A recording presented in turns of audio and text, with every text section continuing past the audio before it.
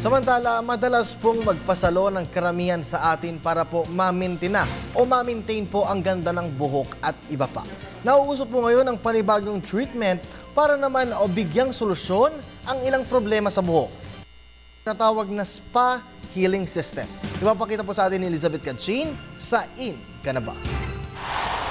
Ka na ba pagkat ako'y ina Nakikipagsabayan na talagang naiiba Kung ang tao ay may sakit, sa doktor siya tiyak na pupunta.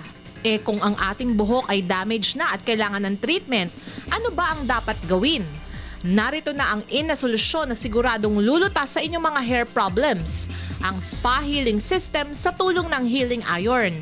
Ang sikat na international salon na ito ang may likha ng inobasyong ito. like no more iron. Pero siya kasi pwede sa mga basang buhok, pwede pa rin gamit to. So kung lagay kayo ng yung mga treatment, sabay kayo gamit ito, yung treatment talaga papasok sa loob ng buhok. So especially mga damaged hair, kailangan gagamitin ito.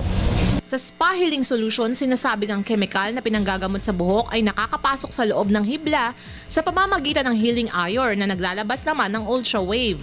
Ipapakita na ng senior hairstylist na si Miss Monica Park ang proseso ng Spa Healing System. May anim na gamot na ginagamit dito. Una, Sampuhin ng customer gamit ang healing shampoo. Pangalawa, lagyan ng EQ mist ang buhok. Ito ang nagsisilbing poste ng ginagawang treatment. Pangatlo, lagyan ng keramino ang buhok at plansyahin gamit ang healing iron para makapasok ang gamot sa mismong loob ng hibla ng buhok. Pangapat, lagyan muli ito ng gamot.